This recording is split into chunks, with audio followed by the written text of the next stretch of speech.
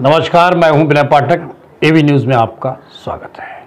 आइए देखते हैं आज की प्रमुख खबर। एनआरसी और राष्ट्रीय जनसंख्या रजिस्टर को अपडेट करने के निर्णय को लेकर समाज के एक वर्ग में भय और भ्रम का भूत खड़ा किया जा रहा है।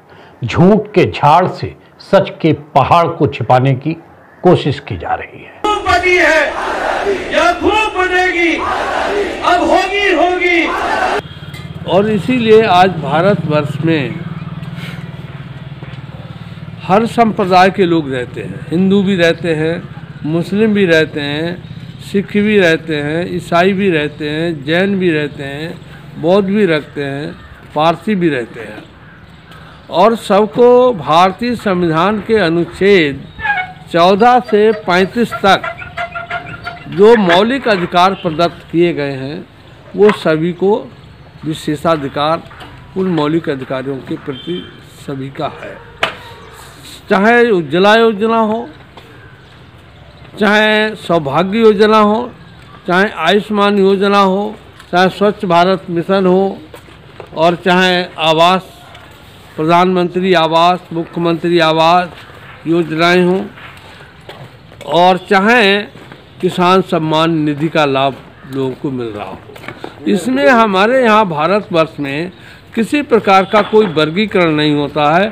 चाहे हिंदू हो, चाहे मुसलमान हो, चाहे सिख हो, चाहे ईसाई हो, चाहे जैन हो, चाहे बौद्ध हो, सभी को इन योजनाओं का पूरा पूरा पात्रता के आधार पर लाभ मिल रहा है। किसी प्रकार कोई अंतर, कोई किसी प्रकार का इन लोगों के भेद भेद, बीच में भेद नहीं है। पाकिस्तान, पूर्वी पाकिस्तान और पश्चिमी पाकिस्तान क्योंकि वो धर्म सापेक्ष देश हैं। पाकिस्तान में लगभग 12 प्रतिशत अन्य संप्रदाय के लोग रहते थे। हिंदू, सिख, ईसाई, जैन और इसी तरीके से जो बांग्लादेश है, जो बना है, जिसको पूर्वी पाकिस्तान था, इसमें लगभग 22 प्रतिशत लोग अन्य संप्रदाय के लोग रहते हैं।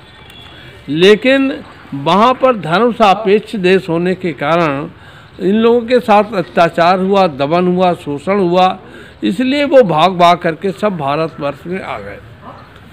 और भारतवर्ष में इस प्रकार पाकिस्तान में लगभग केवल 12 से 2 प्रतिशत लोग से चले गए। और बांग्लादेश में 22 प्रतिशत से केवल 8 प्रतिशत लोग रह गए। और इस प्रकार से शरणार्थी के रूप में हमारे इस देश में वो लोग रहते हैं। वर्ष 2000 ने वर्ष 1955 में नागरिकता अधिनियम बनाया गया। इस नागरिकता अधिनियम, वैसे हमारे भारत के संविधान के अनुच्छेद पाँच से लगाकर के ग्यारह में भी नागरिकता संबंधी व्यवस्था दी गई है और अनुच्छेद ग्यारह में सरकार को कानून बनाने की, व्यवस्था बनाने का पूरा पूरा अधिकार भी प्रदत्त है।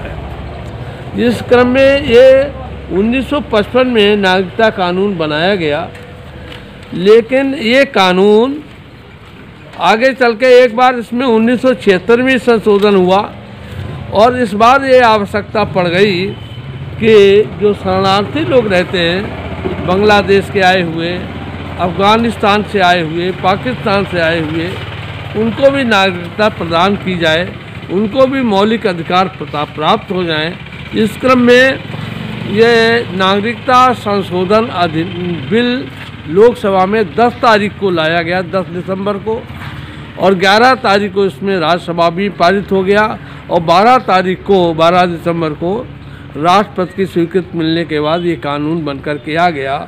इसकी धारा पाँच में पहले ये व्यवस्था थी कि जो शरणार्थी के रूप में इस देश में रहते उसे 11 वर्ष व्यतीत हो गए हैं उसको यहाँ की नागरिकता प्राप्त हो जाएगी।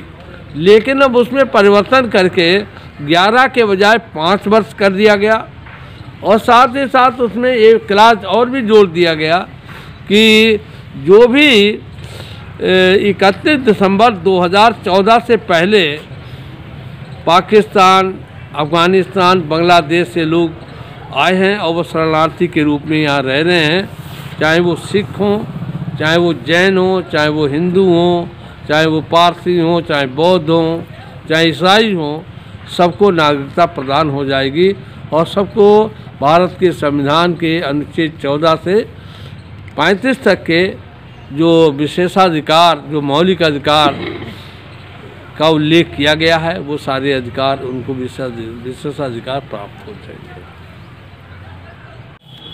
जो शरणार्थी इस समय हमारे देश में रह रहे हैं, वो सिख, ईसाई, हिंदू, पारसी, जैन, बौद्ध, भिन्न भिन्न संप्रदाय के लोग हैं। इसके साथ ही साथ एक एन आर सी और एक एन आर पी दो व्यवस्थाएँ और सुनिश्चित की गई हैं। एन आर सी का मतलब हो गया है कि नागरिकता, राष्ट्रीय नागरिकता रजिस्टर। और एनआरपी का मतलब हो गया है, राष्ट्रीय जनगणना रजिस्टर।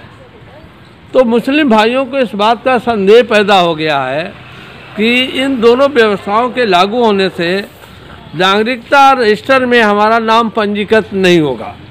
लेकिन ये संदेह करना व्यर्थ है। उन सबका जिनको इस देश में नागरिकता प्राप्त है, ऐसे सारे मुस्लिम भाइयों को भी उसमें पंजीकरण होगा और वो भारतवर्ष के नागरिक माने जाएँगे। इसी प्रकार से अब 2021 में जनगणना होने जा रही है। इस जनगणना में भी मुस्लिम भाइयों को संदेह है कि हमारे जनगणना से हमको वंचित कर दिया जाएगा। ऐसा नहीं होगा, मुस्लिम भाइयों की भी जनगणना होगी और उनको किसी प्रकार से नागरिकता से वंचित करने का, या उनको इस देश में सुविधाएँ प्रदत्त कराने में, मौलिक अधिकार प्राप्त होने में किसी प्रकार के से कोई वंचित नहीं होगा। सबको पूरा पूरा अधिकार हो, जितना हिंदुओं को अधिकार होगा, उतना मुस्लिमों को भी इस देश में अधिकार होगा।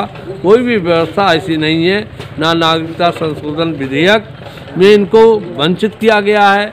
ना इनके नागरिकता समाप्त करने की कोई बात की गई है और ना एनआरसी में या एनआरपी में भी।